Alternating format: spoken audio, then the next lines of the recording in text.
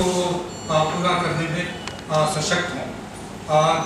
जो अभी आप लोगों ने नोट किया है वो थोड़ा सा डिसअपॉइंटिंग है क्योंकि उनके स्पोर्ट्स में कमी आई है। और ये आ, ऐसा नहीं है कि ये पहला साल है एमसीडी के काउंसलर्स का। उनको कई साल हो गए हैं। तो ये इस बात की उम्मीद कर, कर सकती है पब्लिक कि वो अपने काम को पहले से ज़्यादा अच्छा करने की कोशिश करेंगे क्योंकि वो उनको अगला चुनाव भी लड़ना होगा।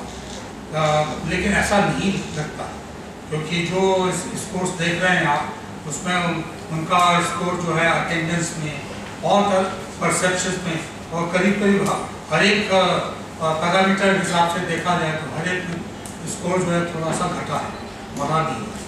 और आ, कोई भी व्यक्ति ऐसा उसमें से नहीं निकला जो कि कह सके कि मैंने पहले से बहुत अच्छा इम्प्रूव किया। ये थोड़ी दुख की बात है। और हम लोग चाहते हैं क्योंकि हम लोग सेंटर फॉर गवर्नेंस में शामिल हैं तो हम लोग चाहते हैं कि गवर्नेंस के एंगल से ये काम जो है उन लोगों को ज़रूर समझना चाहिए और अपना दायित्व जो है उसको निभाना चाहिए। आ, मैं अपनी तरफ़ से और अपनी संस्था की तरफ़ से प्रजा को बधाई देना चाहूँगा कि वो इतनी मेहनत करके जो उन्होंने ये सारे आपके सामने जो सारे तथ्य पेश किए हैं, उनको आप ध्यान से देखें और जिनको भी आप कांटेक्ट करें, उनको ये बताने की कोशिश करें कि भाई दिल्ली में और काउंसलर्स को और एम दोनों को बहुत काम करना बाकी है। यहाँ पे जैसे योगेश ने समझाया हम लोग आरटीआई के माध्यम से कुछ डेटा कलेक्ट करते हैं, जिसमें हम लोग उनके पार्षदों का जो अटेंडेंस है या क्वेश्चन है या उनका क्रिमिनल रिकॉर्ड है, उसके बारे में डेटा लेते हैं। और दूसरा हम सर्वे करते हैं जो हंसा हंसा जाके हमारे लिए उनके काउंसिल में एक सर्वे रन करता है। तो उनसे रिपोर्ट कार्ड के लिए डेटा कलेक्ट करने के लिए हम डायरेक्टली बात नहीं करते। इसके पर इसके अलावा हम लोग हर, पूरे साल भर में उनको डिफरेंटली मिलते हैं, हमारे पार्षदों को मिलते हैं। हम लोग एक इंटरेस्टिंग प्रोग्राम रन करते हैं, जहाँ पे हम लोग पार्षदों के साथ बिकॉज़ उनको रिसर्च सपोर्ट नहीं मिलता है तो हम लोग एक फेलोशिप रन करते हैं। उनको फेलोशिप स्टूडेंट्स को ट्रेन करके पार्षदों के पास ऐसा रिसर्च फेलो भेजते हैं। उसके अलावा हम लोग उनके ट्रेनिंग देते हैं ट्रेनिंग की प्रोग्राम भी हमारे हमारे कंट्री से चलते हैं, हमारे पार्षदों के साथ आपको ये भी बता रहे हैं कि हम लोग सिविक हेल्थ और एजुकेशन की भी रिपोर्ट लेके आते हैं। उन रिपोर्ट को भी हमारी टीम जो है, वो पार्षदों के पास लेके जाती है। तो उस तरीके से हम लोग बातें उनके उनके डिफरेंटली करते हैं but not exactly related to report का। रिपोर्ट का हो इंडिपेंडेंट एक्टिविटी है, होती है हमारी, जिसमें हम लोग एनालिसिस डेटा को लेके करते हैं। तो आप लोग जो सर्वे कर रहे हो काफ़ी लंबे समय से कर रहे हो। पिछले पाँच साल का इस्तेमाल कर अगर हम लोग मुकाबला करें तो क्या स्थिति है ये जो रिपोर्ट कार्ड हम लोग बना रहे हैं दिल्ली में काउंसिलर्स के लिए तीसरा रिपोर्ट कार्ड है। पिछले टर्म में सिर्फ़ हमने एक ही रिपोर्ट कार्ड किया था और इस टर्म में हमने दो रिपोर्ट कार्ड किया। जैसे पिछले टर्म का इस टर्म का कंपैरिजन करना अभी के लिए सही नहीं रहेगा। जो लास्ट रिपोर्ट का हमने पिछले टर्म के लिए किया लास्ट ईयर में किया था। तो इस टर्म का जो लास्ट रिपोर्ट का आएगा इस टर्म का मे भी उसको हम लोग कंपेयर करके कुछ एनालिसिस ड्रॉ कर सकते हैं। इस तीन साल क्या स्थिति रही है। अगर तीन दो साल के अगर हम लोग देखते हैं जैसे योगेश ने पहले स्लाइड में बताया कि स्कोर में गिरव कमतरता आई है स्कोर नीचे गए अगर इस साल का एवरेज देखते हैं तो ओवरऑल 60.24 परसेंट मिले हैं दिल्ली के काउंसिलर को हमारे रिपोर्ट के हिसाब से। हम लोग रीडिंग करते हैं तो बेसिकली वो डी ग्रेड में चला जाता है। And that is the reflection of services that we are getting हमारे जो एक्चुअली की सर्विसेज़ कम है उसका रीजन है कि हमारे जो पार्षद है हमारे जो उम्मीद हमारे हमारे जो प्रतिनिधि है वहाँ पे वो वो लोग ऐसा ग्रुप ऐसा कोहट प्रॉपर काम कर नहीं कर नहीं रहे वो लोग सवाल नहीं उठा रहे वो लोग पॉलिसी प्रॉपर नहीं बना रहे और उसकी वजह से आज दिल्ली में हम लोग प्रॉब्लम फेस कर रहे हैं। आप उनको तो अकाउंटेबल बनाने की कोशिश कर रहे हैं ना? You are trying to make them accountable but ये this is not something that will happen overnight ये हम लोग सोच रहे कि हम लोग आज से उनसे कोलैबोरेट करेंगे, उनके साथ बातचीत करेंगे, उनको समझाएँगे। और ये हमारा जो एक्सपीरियंस मुंबई में रहा है, वो भी एक्सपीरियंस यही था कि एक दो साल लोग इतना इम्पोर्टेंस नहीं देते हैं। अगर उसके बाद वो इम्पोर्टेंस देना शुरू करते हैं और कुछ फ़र्क पड़ता है। मुंबई में ये हुआ, मुझे लगता है दिल्ली में भी ये भी होगा कि ओवर पीरियड टाइम मुझे लगता है कि इम्पैक्ट होने शुरू होगा। आप जो है। मासिस से क्यों नहीं कांटेक्ट करते? क्योंकि masses they are not politically educated उसमें जिसे तो होता है। अगर मासिस का दबाव पड़ेगा तो मासिस को कांटेक्ट करना आपके द्वारा करना चाहते हैं। इसीलिए हम लोग प्रेस कॉन्फ्रेंस करते हैं ताकि आप मार्क्सिस को बताएँ कि एक ऐसा ये रिपोर्ट निकलता है और उसमें उनका असर इम्पैक्ट क्वालिटी ऑफ़ लाइफ पर असर पड़ता है। सर ये आप उनको बताते कैसे हैं कि आपके खिलाफ ये रिपोर्ट आई है? जी। उनको कैसे पता चलता है? कैसे अप्रोच करते हैं आप? तो हम रिपोर्ट उनको भेजते हैं सबको हर एक काउंसलर को रिपोर्ट भेजते हैं पहले आपने भेजी है सबको बिल्कुल बिल्कुल भेजते तो किसी का प्रतिक्रिया पहले आई है जो पहले आपने रिपोर्ट भेजी? काफ़ी लोगों की प्रतिक्रिया प्रतिक्रिया मिलती है हमें। कुछ ऑफकोर्स जो जिनका रैंक लो होता है वो लोग जानना चाहते हैं कि रैंक क्यों लो हुआ है। हम उनको एक्सप्लेन करते हैं कि हमारी मेट्रोलॉजी क्या है का, क्या करना चाहिए उन, उनको काउंसिलर को उनका काम कैसे करना चाहिए। तो उसके बारे में हमारी चर्चा वगैरह होती रहती है। कुछ लोगों का जो रैंक ऊपर भी है वो लोग वो लोग चाहते हैं कि उनका रैंक हमेशा ऊपर रहे। तो वो लोग भी हमारे पास डेटा के पूछने आते हैं। वो लोग पूछने आते हैं कि सवाल कैसे उठाया जा सकता है। तो इट्स इट्स जैसे बोला इट्स वर्क इन प्रोग्रेस धीरे धीरे करके उसका इम्पैक्ट आना चालू होगा। लेकिन वो आपको जो आप बना रहे हैं उसको प्रमाणित कैसे मानते हैं कि जो आपने लिखा है वो ठीक ही हो सपोज़ मेरे खिलाफ लिख दिया तो मैं तो कहूँगा ये गलत है आपकी report I don't believe well it's a matter of discussion वो लोग डेफिनेटली आते हैं। हम लोग भी उनको हम लोग भी उनको मिलते हैं। हम लोग लो लो रैंक में मिलते हैं। उसको आपने बिल्कुल ज़ीरो दिया। वो भी तो आपसे बहस करता होगा नहीं मैंने तो काम किया आपने गलत लगा सर इनफैक्ट सेकंड रैंक आता है वो भी भेज करता कि मैं सेकंड क्यों है मैं फ़र्स्ट क्यों है। उनके कुछ उनके भी कुछ पॉइंट ऑफ़ व्यू होते हैं वो भी हम सुनने की कोशिश करते हैं हम समझने की कोशिश करते हैं। And it's a it's a process एक थोड़ा हम लोग को बताते हैं कि हम लोग का यहाँ पे कोई पॉलिटिकल मोटिव नहीं है। हम लोग को हम लोग यहाँ पे ऑब्जेक्टिवली स्टडी कर रहे हैं डेटा के ऊपर स्टडी कर रहे हैं। और वो लोग इस चीज़ को मान देते हैं। जिस समय आप जाते हैं वो बोलता है मैंने कुछ काम किया है ये मेरा काम उसमें जोड़ो।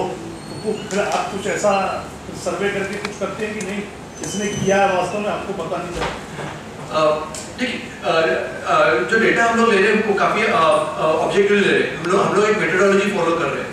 इसलिए अगर उनके, उन्होंने बताया कि हम लोग कुछ काम कर रहे हैं तो हम लोग वहाँ पे सुन सकते हैं बट जो सर्वे पे निकलने वाला डेटा उसी को हमें लेना होगा।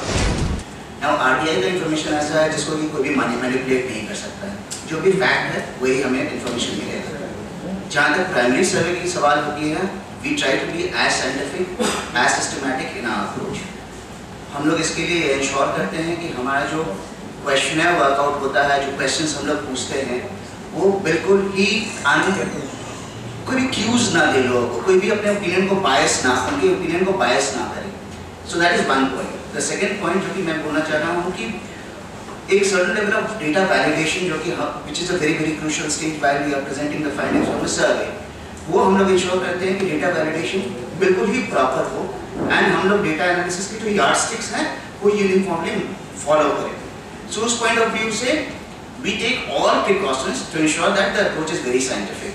Sampling becomes a very very critical stage because चूँकि हम लोग हर एक वार्ड में जाके एडमिनिस्ट्रेटिव ब्लॉक में जाके सैम्पलिंग करना पड़ता है we ensure that the sample that we are achieving is robust enough हम लोग सारे 272 वार्ड्स में जाते हैं, हर एक वार्ड में close to 100 sample size achieve करते हैं, और ऐसा नहीं है कि ये 100 सैंपल साइज़ किसी एक पर्टिकुलर पॉकेट में है उस वार्ड में ये 100 sample size well spread out होता है within a ward so that सारे सारे ज्योग्राफी के सारे लोग उसमें रिप्रेजेंट हो. जाएँ that's that's how we take care. Representative. that, that's exactly what we're trying to say.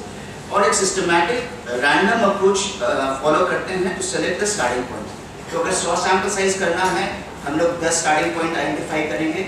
एक ये जो 10 स्टार्टिंग पॉइंट आइडेंटिफाई करेंगे वो बाकायदा हमारे इलेक्टोरल रूल से आइडेंटिफाई होता है. ऐसा नहीं कि मैं चाहता हूँ कि ये हाउस से मैं स्टार्ट करूँ बिकॉज़ मैं I also personal motive I am politically motivated to select that house वो नहीं है. हम लोग उसको रैंडमली सिलेक्ट करते हैं.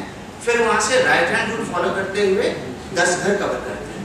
इस तरह से हम लोग हर एक वार्ड हर एक एडमिनिस्ट्रेटिव वार्ड के अंदर में सौ सैंपल साइज़ करते हैं. And which is a good enough sample size to robustly represent the entire ward ये जो ईडीएमसी ईडीएमसी का प्रोविज़न 2017 में भी कुछ नहीं पूछा 18 में भी कुछ नहीं पूछा 19 में भी कुछ नहीं पूछा। No not a single question रही तो ये हीरो है कि ज़ीरो है? जो उसको प्रेस रिलीज़ में उसका नाम आ गया। वो आपको आप आप बताएँ कैसे कैसे पर्सन इज़ कैलस पर्सन है तो उसको कम करने की क्या ज़रूरत है? इसलिए भी वो ये काउंसिलर है। देखिए डेट हम जनता ने उनको इलेक्ट किया। सो जो हम लोगों ने सर्वे किया है जो भी हमारे सैंपल आया था उसको हम लोगों ने बैकवर्ड्स यूनिवर्स पे वेट किया है। तो अगर यूनिवर्स में 50 50 परसेंट प्रोपोर्शंस हैं मेल और फीमेल का and accordingly different age group का एक सर्टन रिप्रेजेंटेशन है हमने अपने सैंपल को बैकवर्ड्स यूनिवर्स पे वेट किया है सो दैट हमारा सैंपल पिकअप के कारण से फाइंडिंग्स पे कुछ इम्पैक्ट ना आए। तो जो मिनिमम एज वाले से किससे पूछा आपने? वो कितनी एज थी? We have gone to the voter so 18 years and above eighteen years तो ऐसा कुछ अलग सर्वे नहीं है कि सर 18 ईयर्स वालों के दिमाग में क्या है? वो क्या चाहते हैं काउंसलर से तीन वेरिएबल्स को हम लोगों ने कंट्रोल किया था। एक तो एज ग्रुप था जो कि जैसा आप बता रहे हैं। दूसरा एक एज ग्रुप था जेंडर दूसरा वेरिएबल था जेंडर और तीसरा था एसएससी जो कि एक एफ्लुएंस लेवल को मेजर करने का तरीका होता है। सो जो अमीर तबके के लोग हैं उसको हम लोग एसएससी ए क्लासिफाई करते हैं जो उनसे थोड़े से कम है उनको बी इस तरह से पाँच क्लासिफिकेशंस होते हैं। तो जब हम लोगों ने अपने सैंपल को वेट किया तो इन तीनों वेरिएबल्स का ध्यान रखा। एज का भी एसएससी का भी और जेंडर का। जो एस है उसमें झुग्गी वाला और एक आम आदमी में भी किया। एक झुग्गी वाला कुछ और बात बोलेगा। बिल्कुल। उसके यहाँ गंदगी सबसे ज़्यादा है। या उसकी कोई सुनता नहीं है काउंसलर लेकिन थोड़ा सा वो अपर होगा तो वो कहेगा हाँ मैंने काउंसलर से बात की कंप्लेंट उसने रेक्टिफाई नहीं की उसको नहीं किया दैट इज़ डिफरेंट थिंग लेकिन झुग्गी वालों से भी आपने बात की। हम लोगों ने सारे से बात वो सत्ताईस हज़ार में कितने परसेंट ऐसे लोग हैं जो बिल्कुल एकदम लोअर वालों से आपने बात किया क्योंकि उनका दिमाग कुछ और होता है।